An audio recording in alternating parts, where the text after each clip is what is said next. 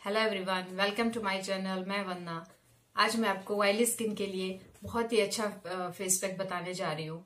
ये face pack एक दाल का है। जी हाँ एक मसूर की दाल का।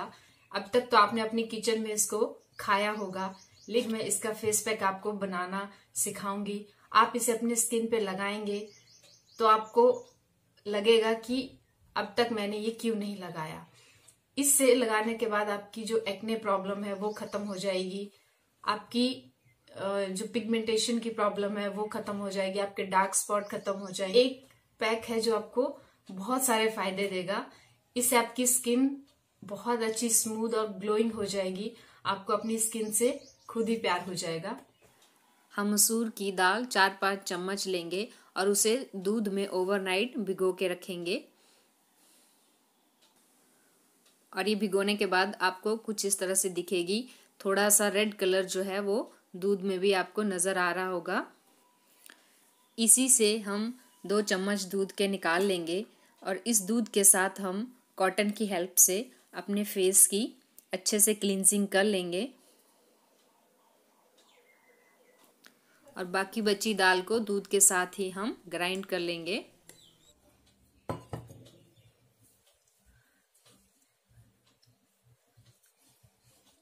इससे आपकी स्किन जो है वो एकदम से मुलायम हो जाएगी।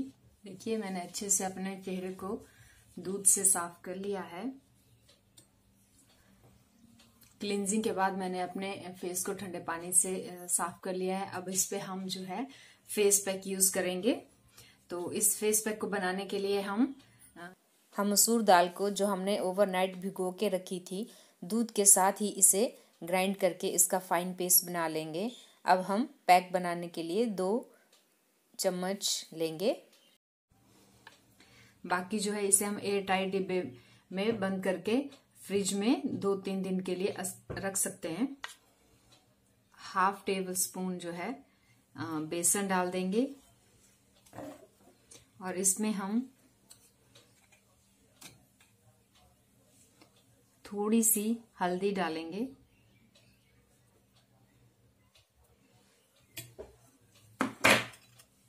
इन सबको हम अच्छे से मिक्स कर लेंगे। और इसमें हम एक चम्मच दही मिला देंगे।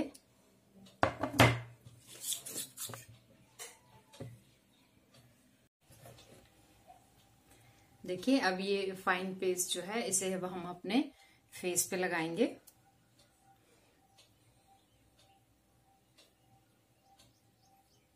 पे जब तक ये सूख सूख ना जाए, तब तक आप बात ना करेंगे।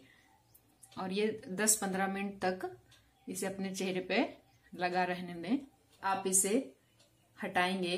तो पहले थोड़ा हाथों को गीला करके इसको सर्कुलर मोशन में आप स्क्रब करेंगे। इस तरह से आप रब करेंगे। देखिए मेरा फेस पैक पंद्रह मिनट के बाद अब सूख गया है। अब मैं गीले हाथों से इसको हल्के से रब करूँगी। इससे मेरे चेहरे की स्क्रबिंग भी हो जाएगी और मेरे स्किन पे जो डेड स्किन है, वो भी आसानी से हट जाएगी। आप इसे दो मिनट तक स्क्रब करें और कोशिश करें कि आप सर्कुलर मोशन में ही स्क्रब करें। इसके बाद आप अपने फेस को ठंडे पानी से अच्छी तरह साफ़ कर लें। देखिए, मैंने अपना फेस पानी से साफ़ कर लिया है। आप देख सकते हैं कि मेरी स्किन पे कितना अच्छा ग्लो आया है। अगर आपको इसके बेस्ट रिज़ल्ट चाहिए तो आप हफ़्ते में इसे दो बार तो ज़रूर यूज़ करें। आपको मेरा ये वीडियो कैसा लगा?